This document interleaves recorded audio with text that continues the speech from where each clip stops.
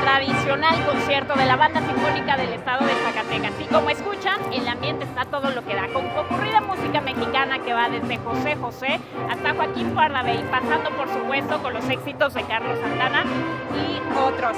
Quédense con nosotros para disfrutar y por supuesto más adelante le tendremos la obertura 1812 de Tchaikovsky, un típico de este concierto de Jueves Santo. A disfrutar.